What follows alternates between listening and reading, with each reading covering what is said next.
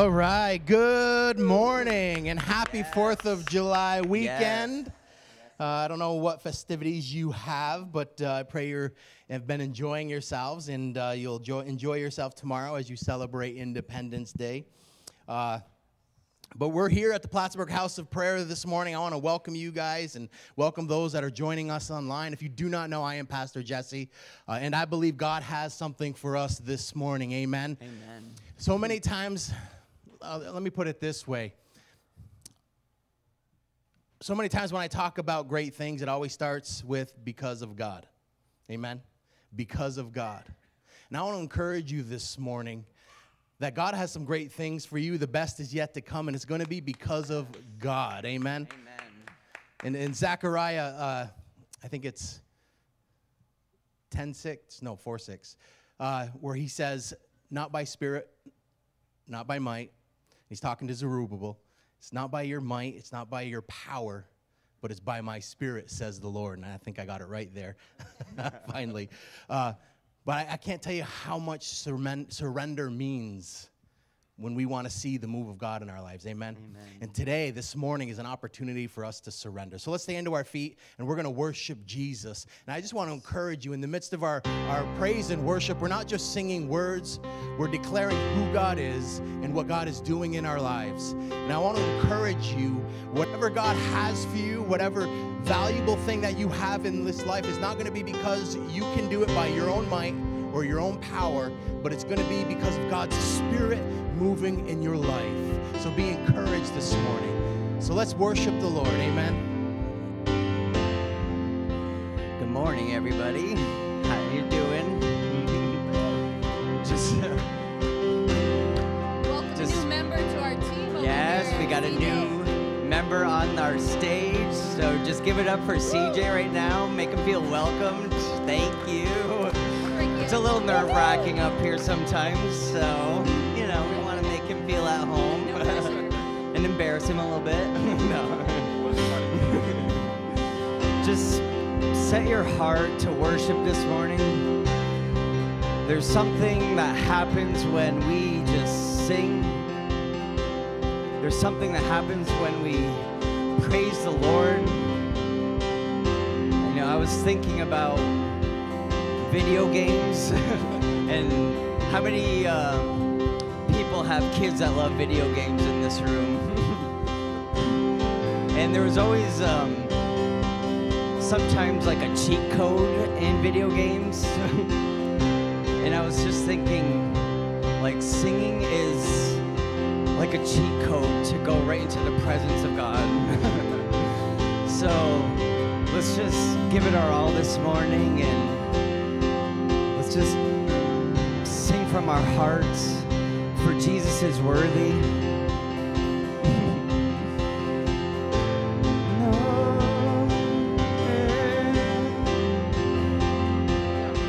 Who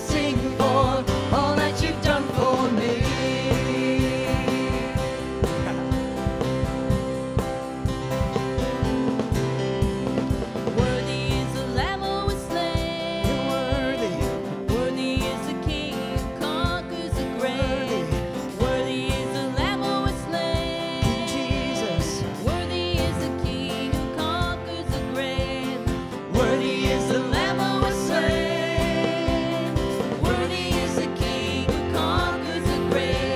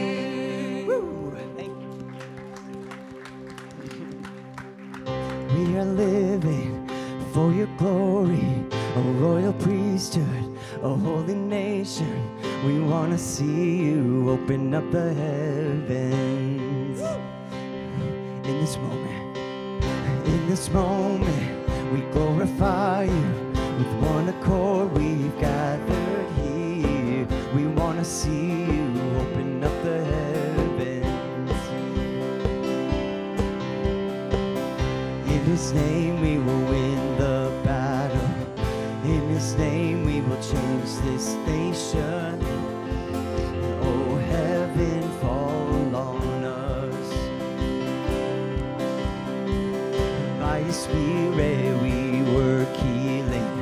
By Your Spirit we see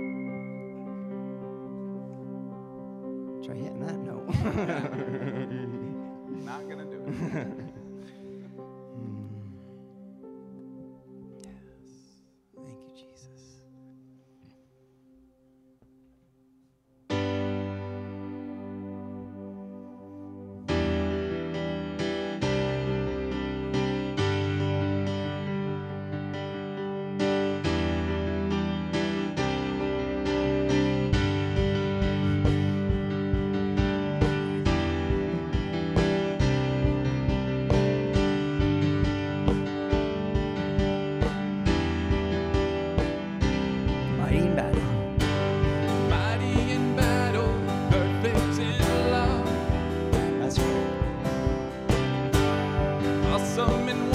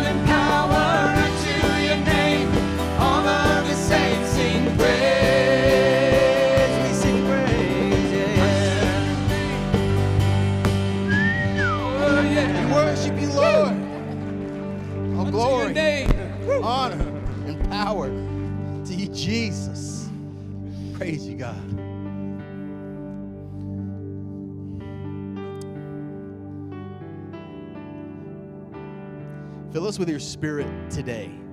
We sang that. Fill us with your spirit today.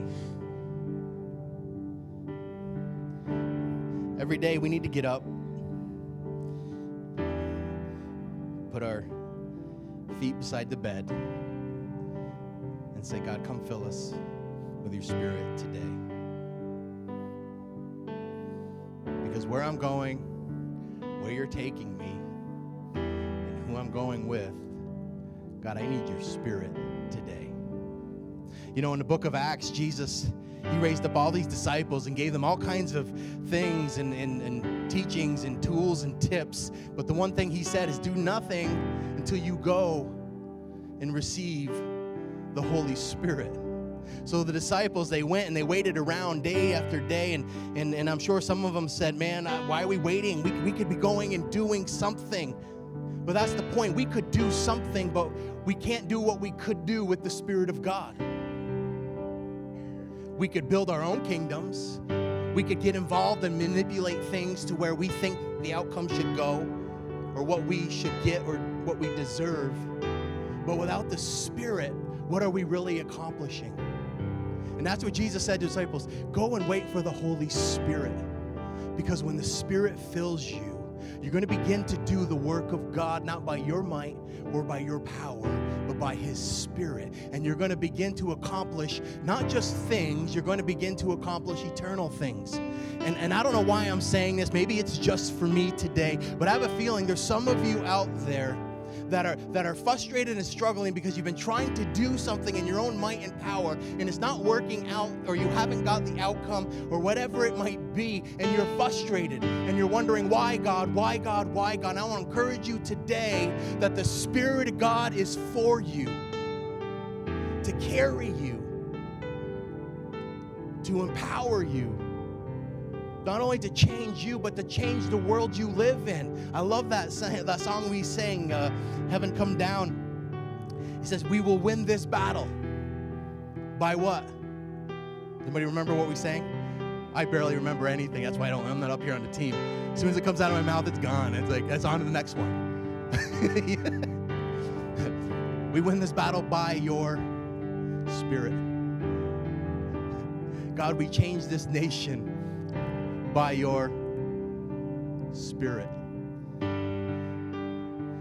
Sometimes we need to be reminded that we're, we're here more than just to live for ourselves or to build up our 401k or to, to, to build our, to get somewhere where we're comfortable.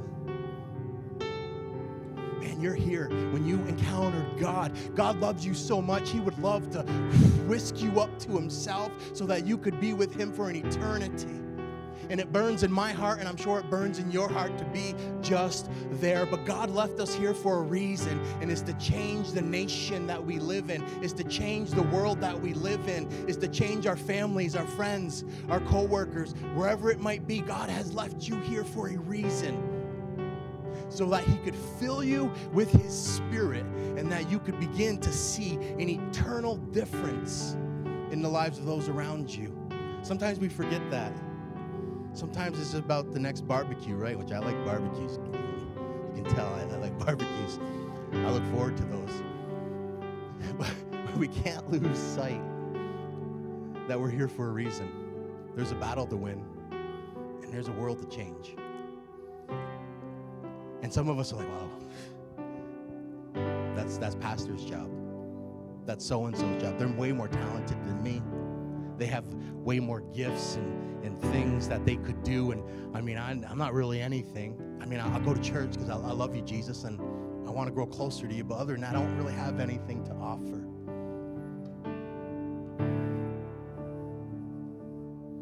Not by might, not by power, but by my spirit, says the Lord. See, you don't have to think you have anything.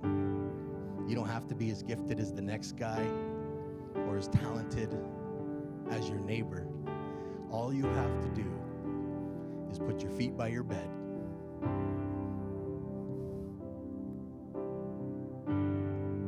Say, Come fill me, Holy Spirit. Fill me with your spirit today.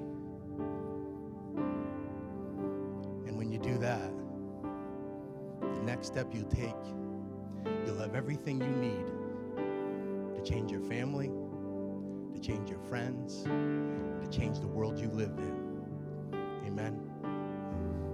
Some of you need to know that this morning. And I just want to pray, if you will, just let's get our hands up and just open your heart. Father, I pray that Father, that you would easy ease some of our anxiety, God, in that we're not sure what we have to offer. But God says, I didn't call you because you had something for me. I called you because you were a willing vessel that I could fill with my spirit, says the Lord.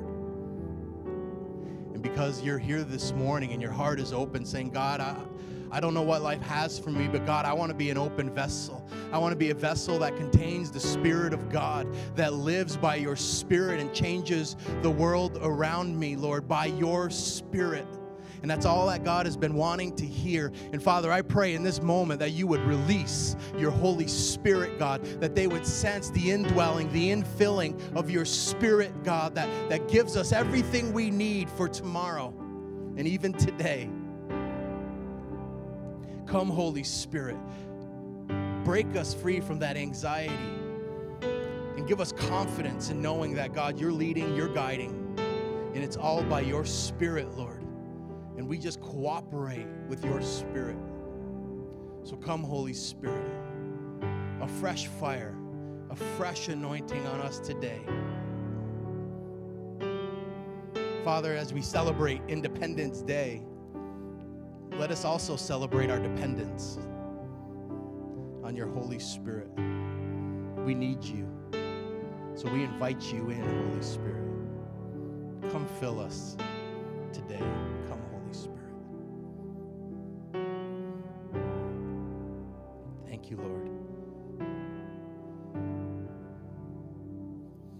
Father, I pray that you would just seal this word upon us, God, and that you would fill us with confidence that we would leave this place not trusting in what we can do, but trusting in what you're about to do, Lord, through us and in us.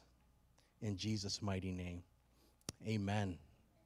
Praise the Lord. You may be seated. I pray you were ministered to. I was.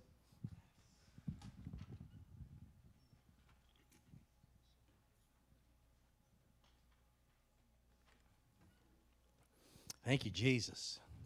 Who needed that this morning? All right. Praise God. Thank you, Jesus. All right, so I have uh, a couple announcements I'm going to make, but one I want to give a shout out to Christina Chauvin. Uh, I know she's watching online. She hasn't been able to be with us for a little while now. Uh, yes. So many of us know, know her, and uh, we're friends and family of her. And, and Christina, we're thinking about you. Uh, I'm just so glad that you've been a part of our church family for so many years. Uh, and we're still just thinking of you and praying for you uh, and believing for God's best in your life. So, amen. So glad to have uh, Christina just joining us online and uh, being encouraged with the family of God here at P Hop. Uh, so I do have a couple announcements before I get into the message today, and one of those is we have a church picnic coming up. I don't know if we have that slide so I can get the dates right. July 24th, uh, we have a church picnic, which is a Sunday, so we'll be leaving from here from this service, and uh, some of us will be going straight to uh, Point Campground uh, for the picnic. Others might be going home and then heading over. Uh, but we will be having that. I wanted to get this date out to you so you could put it in your calendars uh, or your phone, because I know if it doesn't go in my phone, it doesn't happen, right? it just, it just doesn't. So I wanted to get this date to you. And we'll be talking more about it as the day draws closer. But uh, July 24th, we have kind of what we call our church picnic. And really, anybody and everybody's invited. Uh, but it's a time for us to gather together as a church family and just uh, have a barbecue together and fellowship. Uh, we don't always get that time either before or after the service. So I want to encourage you to mark your calendar and come on out for this event. Uh, the second thing that I want to announce, I'm going to announce two things, uh, is our small groups. Our small groups actually start up this week. All right, so some of us are excited, or one of us are excited for our small group.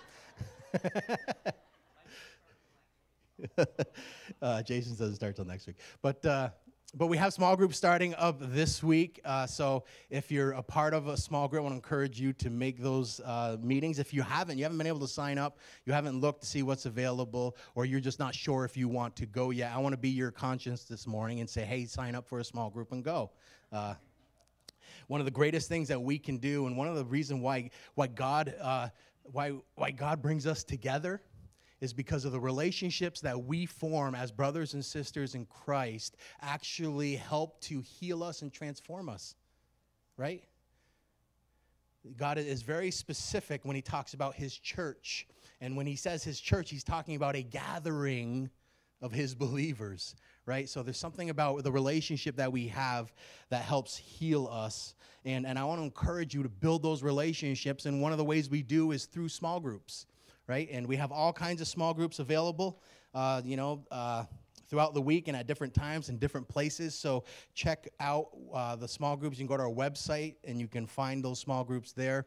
Uh, or you can go to our Church Center app, and uh, the small groups will be there, and you'll see the times and the dates and, and what's going on. Uh, it's still not too late to sign up and go. Even if you miss the first one or two, I still want to encourage you to plug on in and really just grow in your relationship with God and grow in relationships with brothers and sisters in Christ. Amen. Uh, so that starts this week. I'm excited. Uh, got, I got a couple that I'm involved in, so uh, be interested to see uh, some faces that I've known for a long time, and hopefully some new faces there as well. So, amen. So that's it for announcements, and now we're going to get into our series.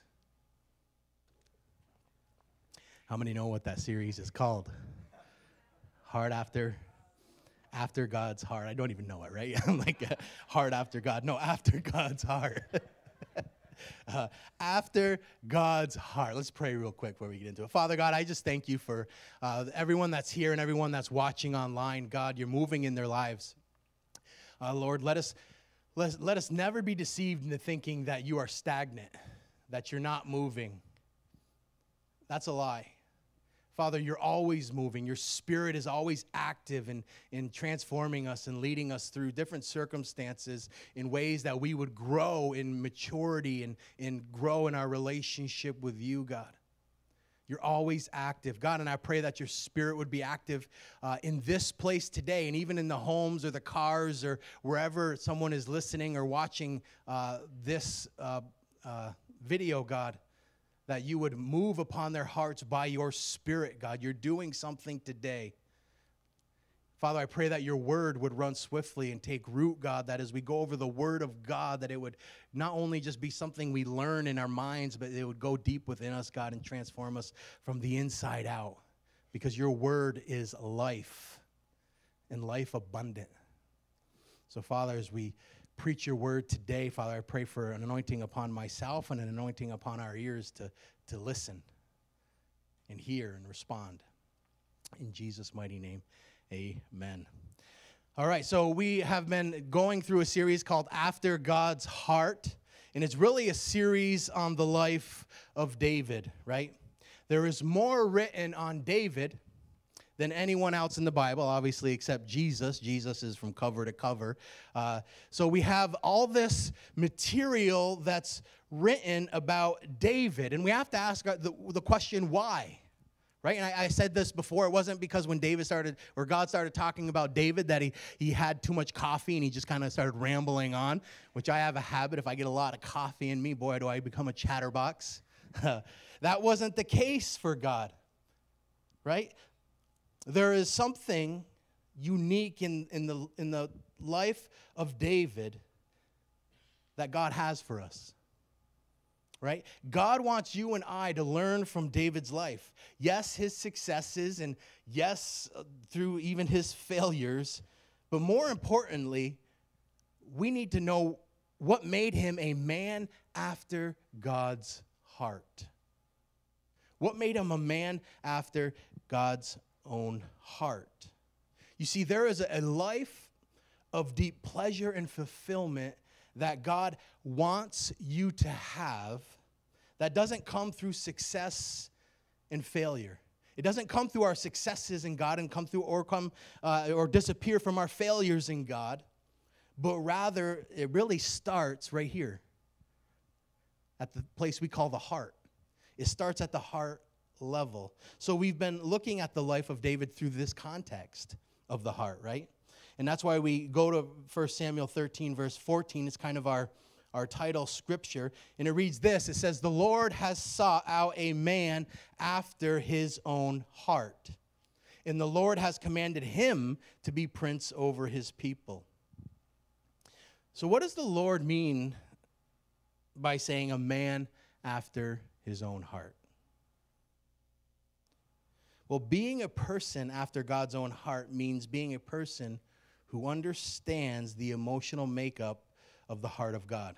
I just want to repeat that. If you're taking notes, write that down. Being a person after God's own heart means being a person who understands the emotional makeup of the heart of God. David had a unique understanding of God's love and desire for him. And David's heart response, and really uh, his life, was shaped by this understanding. And could it be this is the reason why God talks more about David than anyone else? Could it be that God wants you to have a unique understanding of his love and his desire for you that would so much impact your life that it would change your heart response to God and it would literally shape your life as you live it? Could it be? I believe it is. Now, David became great in the eyes of God not because of his exploits or even his accomplishments, but because of his unique relationship with God. Now, David writes this in Psalm 103 uh, in verse 4. He says, Who redeems? And he's obviously David, he's talking about the Lord here. He says, Who redeems your life from destruction? Who crowned you? And I love how David, he uses this word crown. And he uses this word crown uh, uh, because he's, he's identifying it as the, the ultimate prize, the ultimate honor, right? So he says, Who crowned you? Who crowned you with loving kindness and tender mercies? You see, David knew, and I want you to know, that God crowned you with kindness and tender mercies. He crowned you with kindness and tender mercies. David was crowned king. Yet that wasn't the crown that David valued most. In fact, it's quite amazing how little importance David put on his political crown and his military crown. He didn't talk about it much at all. In fact, I remember watching a documentary on the life of David. How many have seen kind of a documentary on the life of David, whether it's the History Channel or something like that? Well, I was watching a, this documentary on David uh, through the History Channel, and all they talked about was his incredible military power, right? His incredible military mind, his incredible political might and his influence that he had over all the surrounding nations. And they're kind of picking apart how incredible David was. But the one thing they didn't put on the History Channel was everything that David talked about, everything that came out of his mouth, everything that flowed from his heart. Because everything that came out of David's mouth revolved around the crown he valued most and that is the crown of God's loving kindness and the crown of God's tender mercies. And if you were to look at David's life and what came out of his mouth, it was evident what crown David really valued more than anything else. It's as if David was saying, I, don't care if I'm king or not. That's cool if I am. I'm all right if it's not. But what I am is a lover of God. And that's what I value most. That's what I value most. You see, David knew he was crowned with so much more than a political crown. He was crowned with kindness and mercy that came from the heart of God. And this is what David valued more than anything else. Now, I want us to take a moment and just think about it. What do you value most?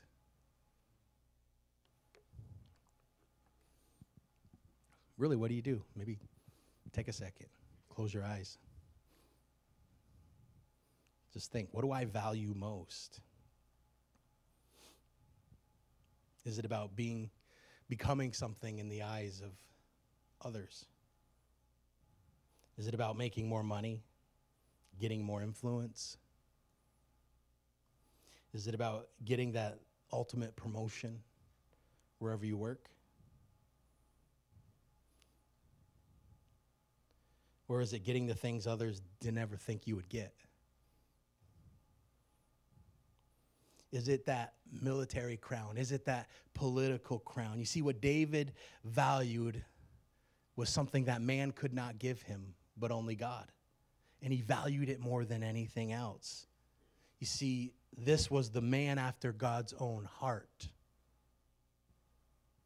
The man that responded to the, the, the river of delight that flowed from God. And every time David he felt that crown on his head, or every time he walked by maybe his reflection and he and he saw the crown that he wore, that symbol of you know the the ultimate place of ambition, right? The ultimate place of of what others want out of life. Every time he saw that crown, he remembered that his success was not in this, this crown this natural crown that he wore on his head, but rather he knew that it was from God, even as a boy. And that's what we talked about. You see, David valued what God thought more than anything, even as a boy. And as God looked over the earth, not looking at successes or failures, but what was just simply going on in the human heart, and he found a boy named David that understood and knew that God loved him, God desired him. There was a river of delight flowing out of God's heart for him, and it, and it dictated David's response to him. And David began to value more than anything that delight, that love, anything that man could offer him. David defines his life through the crown of steadfast love and mercy. Do we? Right? What do you value? What are you valuing right now? What crown are you hoping to see on your head when you look in a mirror someday? Probably for some of us, it's not a crown of loving kindness and tender mercies. But God wants it to be. God wants it to be. That's why gave us, God gave us the, the life of David so that we can peer into his life and say, man, this is what he valued. This is what made him a man after God's own heart. And I can have just the same as David had. He's not special. God, it says in his word, he's no respecter of persons. In fact, God wants you to comb through the life of David and begin to implement these things in your own heart. What do you value? Is it the crown of loving kindness and mercy above everything else? Now, David wrote Psalm 18. And the interesting thing for us is, is Psalm 18 was written on the day that Saul, uh, King Saul died. And uh, if you don't know the story of King Saul and David, I encourage you to read it. Uh, pick up a Bible anywhere and read First uh, Samuel, and and uh, yes, First Samuel. Second Samuel is good too, but uh, the story of King uh, Saul and and David is found in First Samuel. So go ahead and read that. But uh, in Psalm 18, David writes this on the, on the day that King Saul died. And it was really the, the day of freedom that came for, for David from massive, massive oppression in his political kingdom uh, was finally going to be coming. That promise of being king was, was finally coming for David. But this was also written at this very time after 16 months of running from God. Did you know that? 16 months of running from God. You see, David disobeys God by going to Ziklag, which was in the Philistine territory that was uh, under uh, Achish, the king of Gath, which was a, uh, uh, province of the Philistines. So David actually disobeys God by going to Ziklag because God told him to stay in Israel. Stay right here. It's going to be hard, but I'm going to watch over you. I'm going to protect you, and you're going to learn some things through this. And it's going to build you up and put install in your life the things that you need to do what I've called you to do. Right? But but David runs to Ziklag. Now the Philistines were the enemy of God's people. Think about this for a moment right? The Philistines were the enemies of Israelites, and David was one of those. And the Philistines were always trying to destroy God's people. Yet David runs to the Philistines to escape the pressure of life and the persecution of following God's word.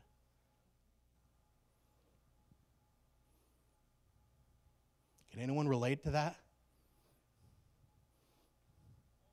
You run to the very thing that seeks to destroy you to escape the pressures of life and the cost of what it means to follow God. I can relate to that. Right? What David doesn't know is that by running to those things, by running to the Philistines, it's ultimately going to destroy him right? Because we see what begins to unfold in the background, right? Achish is going to bring him in. Now, David's going to have to start killing his own people. And if David doesn't start killing his own people, all of uh, the, the army of the Philistines is right there to kill David and his men. And David begins to realize, man, this, this compromise that I've been in is ultimately going to destroy him. And I don't know if he fully realized it or not in that moment. But that's what we do. We run to the, the things that want to destroy us, the things in this life that we think are going to ease the pressure, ease the pain, ease the frustration. But ultimately, it's those things that are going to wind up in maturity destroying us. That's why God asks certain things of you. That's why God has particular ways He wants you to live. You see, if we obey the Word of God, then we're going to see the fulfillment of what God has for us.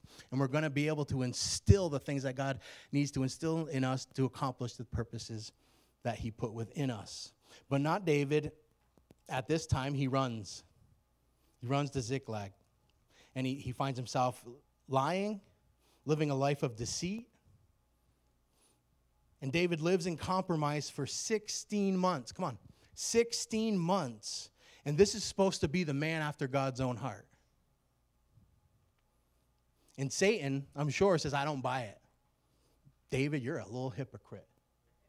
Right? David, you're a little hypocrite. Now, how many of us say, I, I love you, God? Man, God, I love you. And then in the next moment, we're struggling with sin. And then that enemy, right? That enemy, that devil comes a knocking and says, I don't buy it. You're a hypocrite. You don't really love God. Well, that's not how God sees it. That is not how God sees it. You see, when David writes Psalm 56, he writes it while he was actually in Gath or in Ziklag, realizing he's in compromise. And David writes this in Psalm 56 8. He says, You number my wanderings, put my tears in your bottle. Are they not in your book? In other words, what he's saying is, God has stored every one of my tears of repentance in his bottle. He has not mocked a single one, he stored them. He has written every tear of repentance in his book. You see, David knew something, and it's what drew him to repentance, even in the middle of compromise. And it's found in the very next verse, in verse 9 he says this This I know, that God is for me. Amen. This I know. Man, God, I'm struggling. I'm hurting. I'm in pain. God, and I reach for things I should not have reached for. But this I know God, you're for me. You're for me. Even in the middle of his compromise, David still knew and understood that God is for him. God still loved him. God was still his biggest fan. Even while he was in the, in the middle of compromise, even during those 16 months, God was still his biggest fan. God was still in his corner. So David finally coming to terms with his mistake, finds a way back to Israel. And as he does, news comes. Saul, King Saul is dead. Finally, freedom. And the people want you as king. Right? After 16 months of compromise, this is the, the news he gets after he, he, he repents and he comes back to Israel. And out comes this Psalm 18 that we were talking about. Psalm 18, verse 16, it says, He sent from on high, He took me, and He drew me out of many waters. What does He mean by many waters?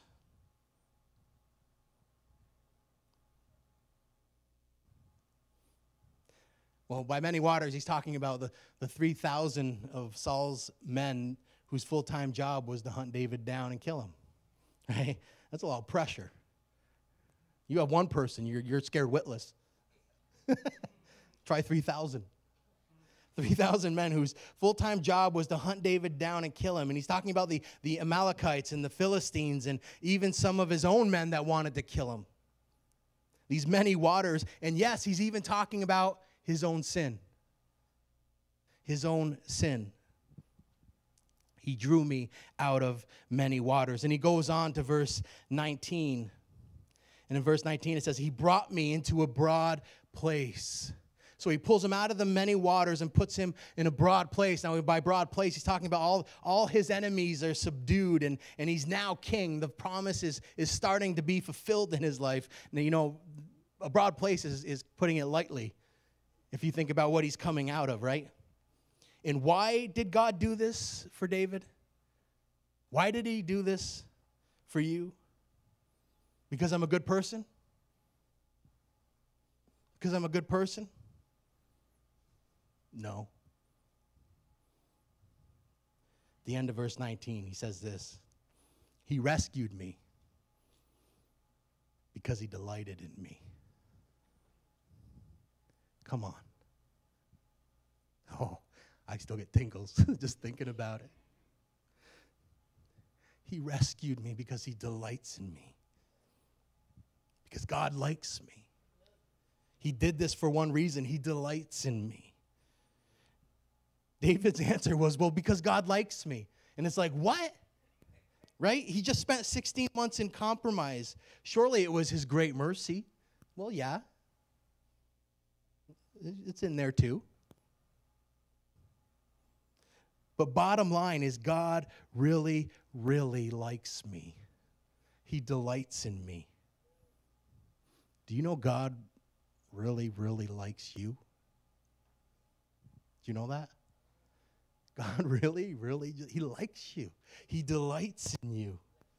And David knew, even in the midst of his compromise, right, that God was for him. In that 16 month period, he was in despair, he was sinning, he was in compromise, he was crying out for deliverance, and God saw it all. He saw everything, and he, and he kept every tear that flowed from David's eyes while he was in the midst of the struggle and kept it in a bottle because it was precious to God. Sometimes we think we're in the middle of sin, we're in the middle of struggle, and the last thing we that we think is that God actually delights in us, that God actually cares about us, that God actually values us in that moment. But that's the farthest thing from the truth. God takes every tear that you cry out and stores it. It's valuable to him. And if you look at the end of Psalm 18 in verse 35, David says this and your gentleness made me great. Oh, come on. Your gentleness made me great. In other words, your gentleness with me, even when I was in sin, is the reason I'll be a great man of God. David is saying, There is a reason why at the end of my life I'll be great. There's a reason I'll be mature. There's a reason I'll slay and defeat the Lord's enemies. Why? Because you were gentle with me when I was stumbling. Your gentleness with me is what will make me great. What a sentence. Come on. Your gentleness with me will make me great. The Apostle Paul says it this way in Romans chapter 2, verse 4 that God's kindness is meant to lead you to repentance. Man, his kindness, his gentleness in the midst of stumbling is something that empowers us to stand up while we're in the midst of our, our sin, in the midst of our stumbling, say, God, I don't want this anymore. I want you. I want what you have for me, God. And I know you're still in my corner. I know you're still for me. I know you still love me. I know you still delight in me. And it leads us to repentance, right? Amen. We can get our worship team up here. We're going to kind of wrap it up. Now, David builds on this same thought in Psalm 130. In Psalm 130, verses 3 and 4, if you have your Bibles, you can turn there. But it says, If you, Lord, should mark iniquities, O Lord, who could stand? Right? Who could stand? Think about that for a moment.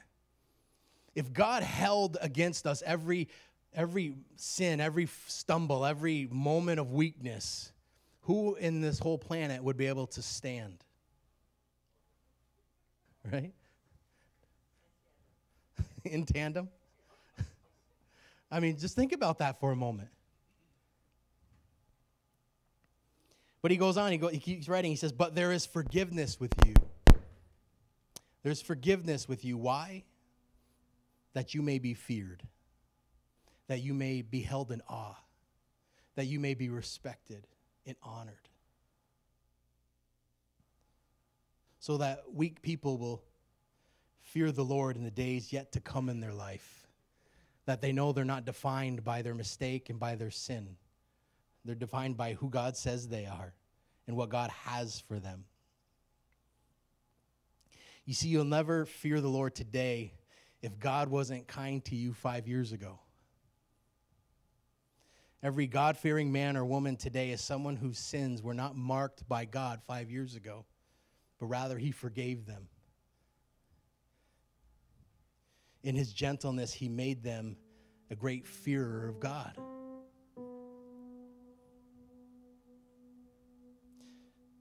With the Lord, there is forgiveness so that the immature will fear the Lord one day.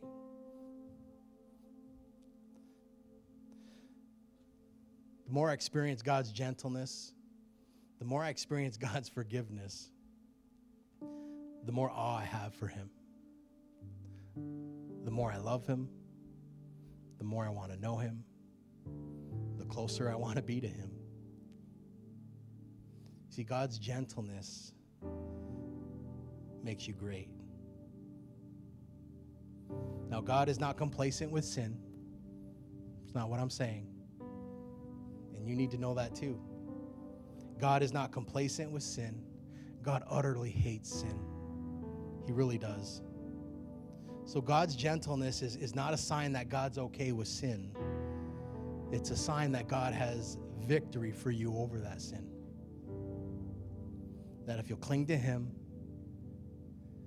if you'll reach out to Him, the Spirit of the Lord will give you victory over that sin. It hasn't defined you, it never will, but God has victory for you. Why? Because God is for you. Amen. Even at our worst, and I don't know, my worst is pretty bad.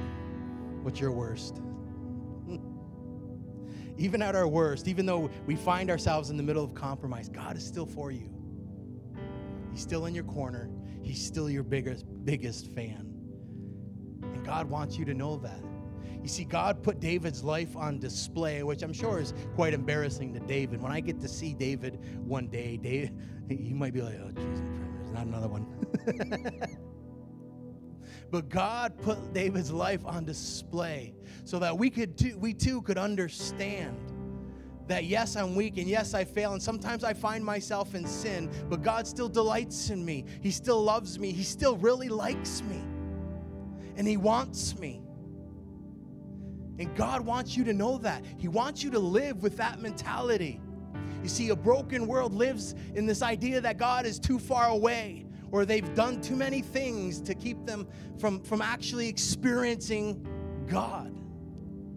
And God is saying, No way. Here's David. He probably had more failures than successes, yet he was a man after my own heart. Because even as a boy, he knew that I loved him, that I really liked him. I liked who I created, I delighted in him. And no matter what mess David found himself in, he stood on the reality that God loves me and that God likes me and that God is for me.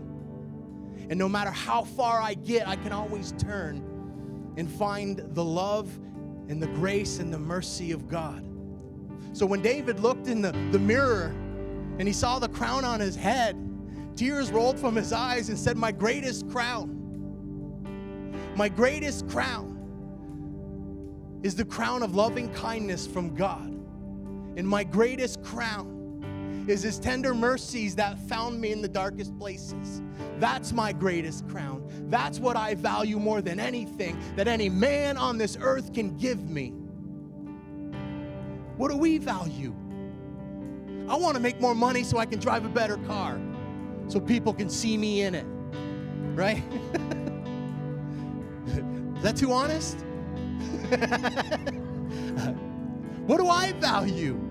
And, and God puts on full display, says, Here's the life of David. I want you to capture what is going on in the heart of David. And I want you to begin to walk by mirrors and look at yourself and begin to say, You know what? I don't value anything that I can get on this earth. I value the very crowns that God can give me. And is that that is where I find success. That is where I find true fulfillment and enjoyment. God has that for each and every one of you. You are not too far from God. God is for you. Come on, you can clap to that. You can give an amen too. You guys are quiet this morning. You know, plans for barbecues tomorrow. Hmm. David knew it, and it was a part of what made him a man after God's heart. David's most valued crown was God's loving kindness and God's tender mercies. And it's what led him to not only repentance, but to greatness in the eyes of God.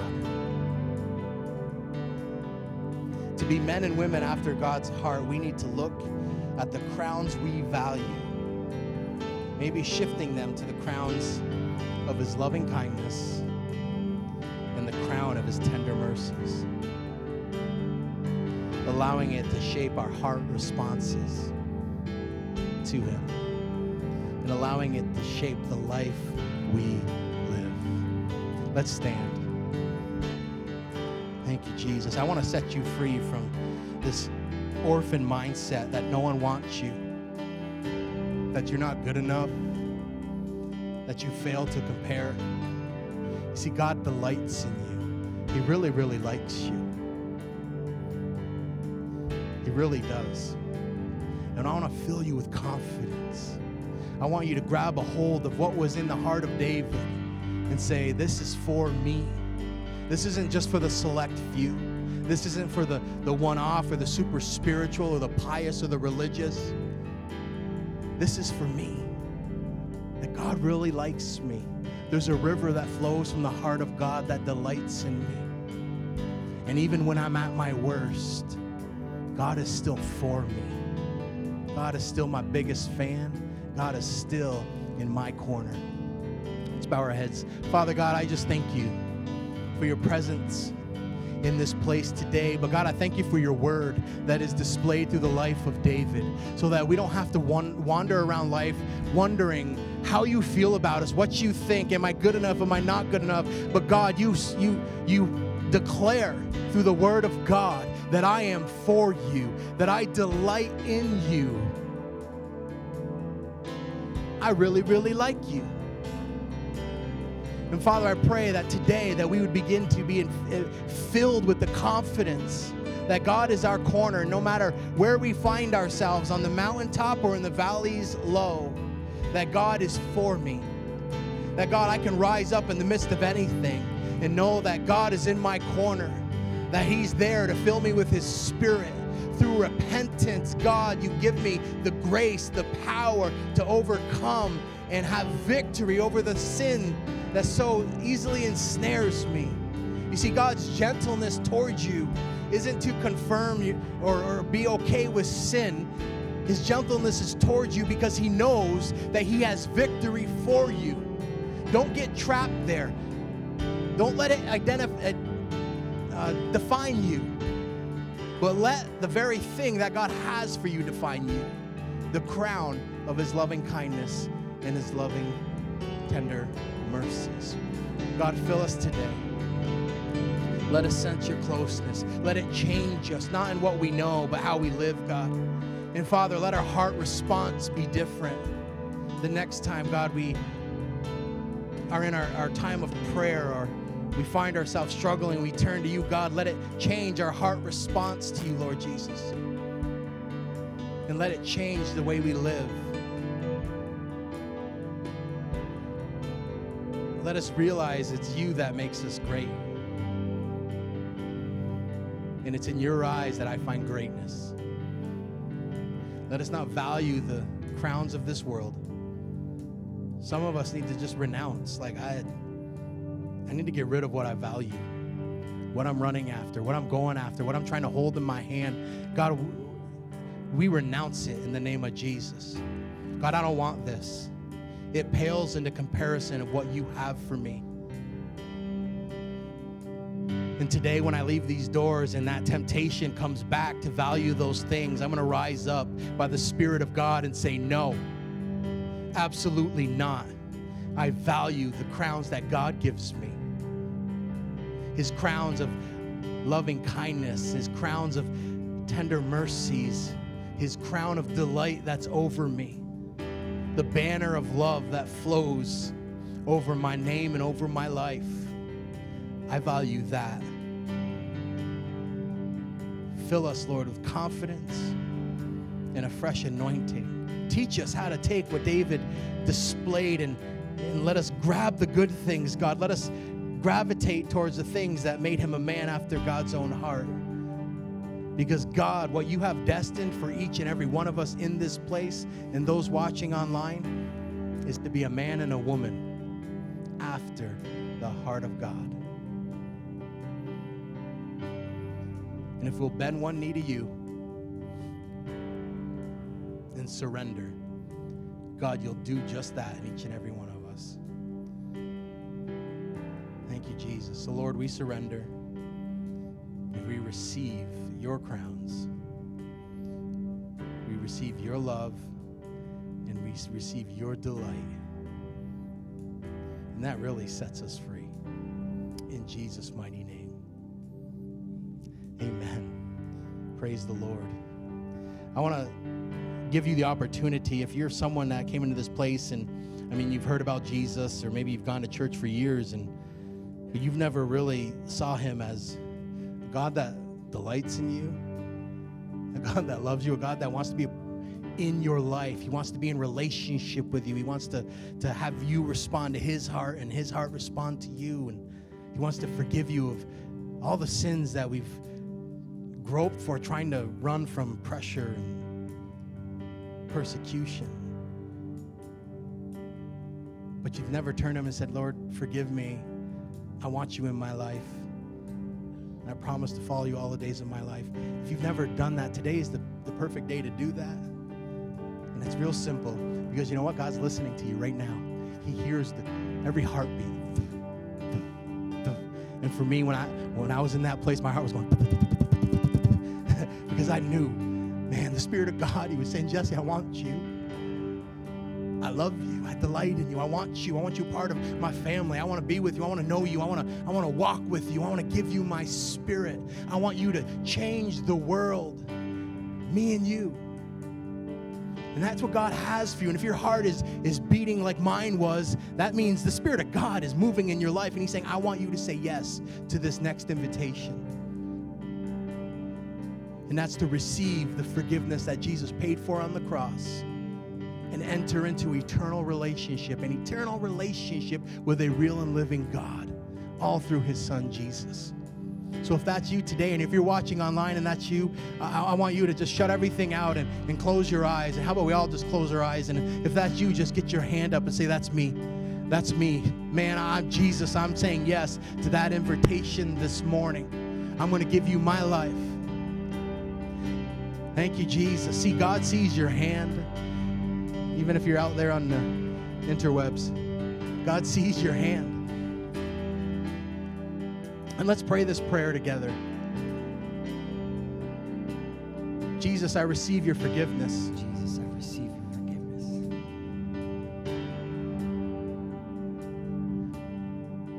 I promise to follow you all the days of my life. I promise to follow you all the days of my life. Today, I receive your Holy Spirit. Today, I know and understand that I'm not alone, Today, I understand I'm not alone. but that you actually delight in me.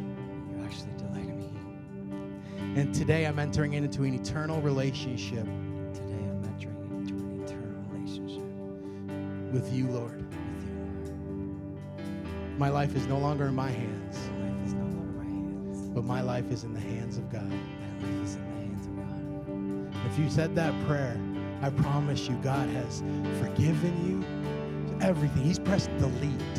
And He says, let's start fresh and new today. And remember, I delight in you always. Forever we'll be together. Every morning, let your feet hit the floor, asking for His Spirit. And I promise you, you'll change the world. Amen. Thank you, Jesus. Uh, after our team is done playing, I'm going to be available for prayer. If you need prayer for anything, uh, just come on forward. If you accepted Christ today, I would love to pray with you and encourage you in that decision you made. If you're online and you made that decision, click the link below. Uh, we want to hear from you, pray for you, and send you a gift that's going to help you on your faith journey. And as we end today, remember we only have one life to live. There's no do overs, there's no spawn points. You have one life to live. Live it for Jesus, and you'll never, ever be disappointed. Amen. God bless. Enjoy your Independence Day.